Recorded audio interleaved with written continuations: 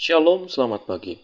Marilah kita mendengarkan renungan pagi dari buku Agama yang Bersinar, karya Ellen G. White.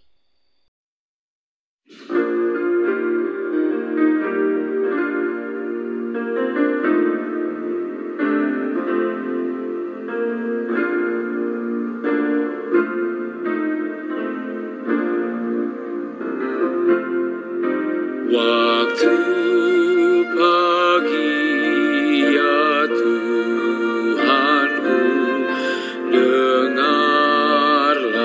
suaraku Menyampaikan doa teduh Dan pandang wajahmu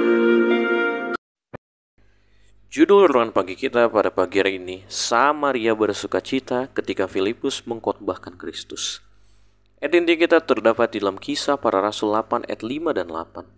Dan Filipus pergi ke suatu kota di Samaria dan memberitakan Mesias kepada orang-orang di situ. Maka sangatlah besar sukacita dalam kota itu. Kita berdoa. Bapa kami dalam surga, berkati kami ya Tuhan, supaya kami dapat memahami betapa besarnya sukacita orang-orang Samaria pada saat mendengarkan pekabaran mengenai Engkau melalui Filipus. Kami serahkan kehidupan kami dalam nama berdoa. Amin. Di antara mereka, kepada siapa juru selamat telah memberikan perintah, karena itu, pergilah jadikanlah semua bangsa muridku. Banyak dari jalan kehidupan yang bersahaja, laki-laki dan perempuan yang telah belajar mengasihi Tuhan mereka dan yang telah mengambil keputusan untuk mengikuti teladannya untuk pelayanan yang tidak cinta diri sendiri. Kepada yang rendah ini dan sebagaimana kepada murid-murid yang telah berada dalam Kristus selama pelayanannya mula-mula, telah diberikan suatu kepercayaan yang berharga. Mereka harus menyampaikan kepada dunia kabar yang gembira tentang keselamatan melalui Kristus. Bila mereka tersebar oleh penganiayaan, mereka keluar diisi dengan semangat misionaris. Oleh Allah bekerja melalui mereka. Ke mana saja mereka pergi, yang sakit akan disembuhkan, dan yang miskin akan mempunyai Injil yang dikabarkan kepada mereka. Filipus, salah satu dari ketujuh diaken, adalah satu di antara mereka yang diusir dari Yerusalem. Ia pergi ke suatu kota di Samaria dan memberitakan Mesias kepada orang-orang yang di situ. Ketika orang banyak itu mendengar pemberitaan Filipus dan melihat tanda-tanda yang diadakannya, mereka semua dengan bulat hati menerima apa yang diberitakannya itu. Sebab dari banyak orang yang kemasukan roh jahat, keluarlah roh-roh itu sambil berseru dengan suara keras. Dan banyak juga orang lumpuh dan orang timpang yang disembuhkan. Maka sangatlah besar sukacita dalam kota itu. Alfa dan Omega, jilid 7, halaman 89.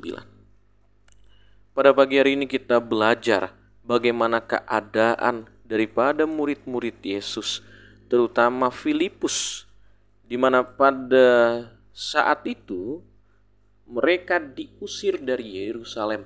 Banyak sekali penganiayaan terhadap orang-orang Kristen.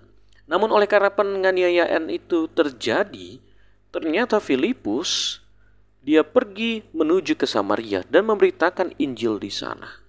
Dia memberikan hidupnya untuk menyatakan kasih Allah.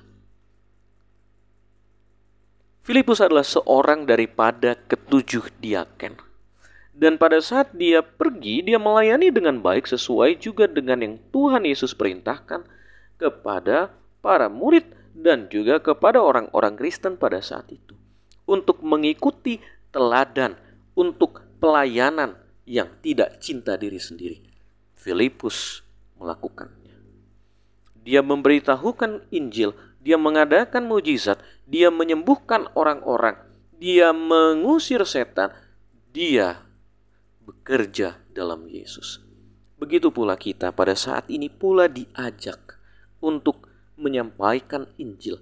Maka banyak yang akan bersuka cita saat kita memberitakan kesaksian tentang Yesus. Kiranya Tuhan memberkati kita, kita berdoa. Bapa dalam surga, kami bersyukur ya Tuhan oleh karena firman-Mu yang mengingatkan kepada kami pentingnya untuk melakukan penginjilan sama seperti Filipus dan banyak orang yang akan bersuka cita pada saat mendengarkan tentang Engkau. Kami surahkan kehidupan kami dalam noise berdoa. Amin. Kiranya Tuhan menyertai kita sepanjang hari ini. Amin.